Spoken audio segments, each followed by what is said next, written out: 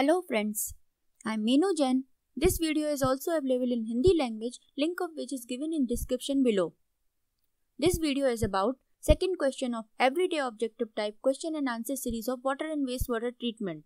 The question was quantity of sewage generated or which we also call rate of flow of sewage is generally assumed for that the response was percent for first option more than the rate of water supply, 7% for equal to the rate of water supply and 23% for less than the rate of water supply and 13% at 150 liter per capita.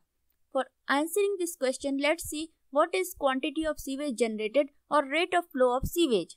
So, total sewage generated per day is estimated population multiplied by 75 to 80% of LPCD, where LPCD is liter per capita or liter per person demand per day.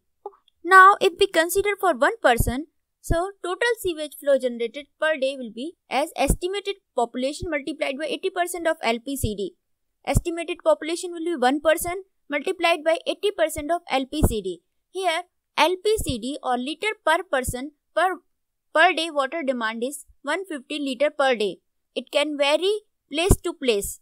If there is a water scarcity, the demand can be reduced. So total sewage generated will be 1 multiplied by 0.8 it comes from the 80% multiplied by 150 that comes to 120 liter per day. Here assume that water supply is equal to the water demand. Now the same thing if we consider total population is 10,000 people so total sewage generated per day will be 10,000 person multiplied by 150 that is LPCD multiplied by 80% is 0.8. So total sewage generated for 10,000 people will be 12 lakhs liter per day or if we divided it by 10 to power 6 it will be 1.2 million liter per day or MLD. Now comes to our question that was quantity of sewage generated or rate of flow of sewage is generally assumed as. So here we saw that it is 70 to 80% of our water supply. Can't be more than the rate of water supply. So th this answer is incorrect. It can't be equal to the rate of water supply and it can't be at 150 liter per capita. So this is always less than the rate of water supply. Thanks for watching this video.